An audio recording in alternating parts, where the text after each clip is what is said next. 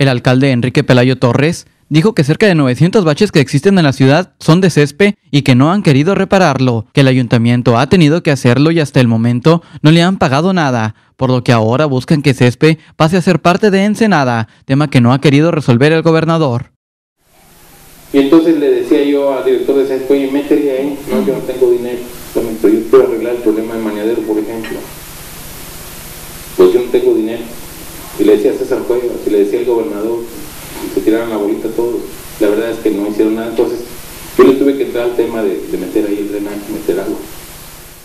Dijo que han estirado el presupuesto lo más que han podido, pero no alcanza. De hecho, el año pasado se hicieron 200 obras en la zona rural y en gobiernos pasados no lo habían hecho. En Villa de Jesús María quitaron al Ministerio Público y la gente dice que cuando agarraba a alguien en el sur lo llevaban hasta San Quintín. Reportó para 3033 Fernando Escobedo.